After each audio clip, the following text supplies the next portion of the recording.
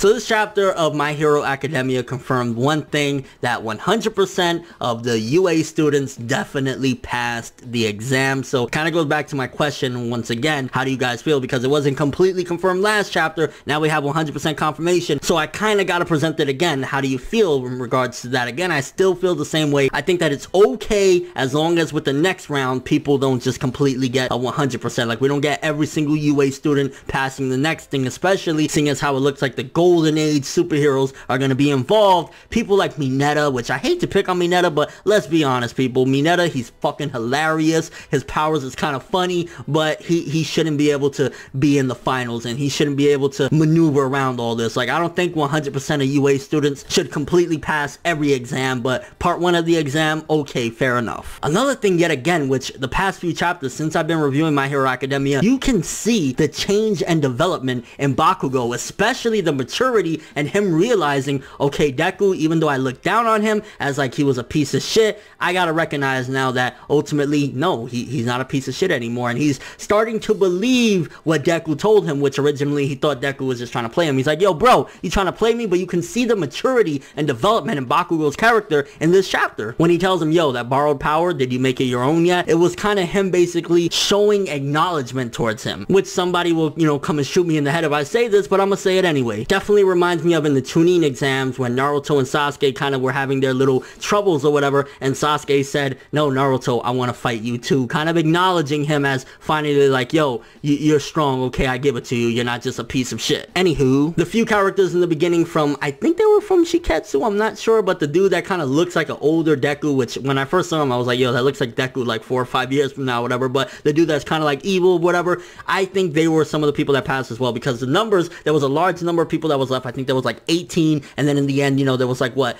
nine or so UA members that needed to pass, and there was a couple extra slots, so I'm assuming they passed as well, and they're probably going to continue to put up a front when they get back in front of the people from UA, but ultimately, I could potentially see, you know, theory time that Deku and him are going to go at it, because he looks like just a piece of shit older version of Deku. Not to mention, he put up this big front like, I'm a good guy, meanwhile, he's a little shithead. It's good to see that at the very least, Ida takes his responsibility as class president still very serious, and he helps out in this chapter. He helps Aoyama realize, like, yo, bro, it's alright, because Aoyama, prior to this chapter, you always think, like, yo, he's a flashy motherfucker and stuff like that, but you can see that it's kind of to hide and put away his insecurities. It seems as though when he said that line in this chapter, it was almost as if, like, well, you want to be equal to everybody, so maybe he feels as though he's just a weak piece of shit, he's a nobody, he's a nothing, and that's why he tries to be so flashy, so at the very least he can be accepted and recognized as just equal to everybody. Maybe it's not that whole cockiness that some people might take from it, or just like, what the fuck is wrong with him? Maybe it's the fact that he feels so insecure that him giving this light show, so to speak, is so that he can feel normal. And speaking of Mineta earlier in this video, it looks as though Mineta's great power, or him, you know, his little ball power or whatever, is seemingly at its limit. So probably Mineta definitely won't get through the next exam because unless somebody helps him out to get through the finish line, it looks as though Mineta's probably to be dry for a while. And with this exam, it looks as though with the golden age people, the older people being involved, it's going to be a lot more challenging than the last. Like I could see Inasa passing this shit. I could see quite a few other people passing it and getting their little badge or whatever, but I could see some of the weaker ones like Mineta not getting passed and a few others. And with all that being said, with this chapter, it felt as though they were minor events, but if you look at it closely, for starters, Aoyama, some more development and getting more insight into his character and what he's truly about. So some interesting tidbits there, even though he's a kind of side character, not really one of the main ones. Ultimately, we know a little more about him. Big ups to Bakugo. I've been saying it the past couple chapters, and yet again, big ups to Bakugo for seemingly maturing again. Like him giving that kind of elbow rub with Deku in a way like, yo, I respect it or whatever. That shows maturity in Bakugo, and I like that. Like people that say he's nothing but a Sasuke clone, no. Like Bakugo, he's an interesting character, and there's more layers to him than meets the eye. He might be an angry asshole, but he's smart enough to get props where it's due, and he's smart enough to do sometimes what needs to be done. So I'd say with this chapter, I'd probably give it maybe a six and a half to a seven. It was predictable in a sense like that dude, I think his name was Shindo, to be like, hey, all menacing looking and stuff like that. That was pretty predictable. But let me know what you guys think. What did you think about Bakugo's growth? Did you like it? I saw a couple people were a little confused and felt as though it was arrogance or kind of him being salty or whatever. It's just that he's an angry asshole, but in his angry assholeness, he was like, yeah, Deku, cool shit. And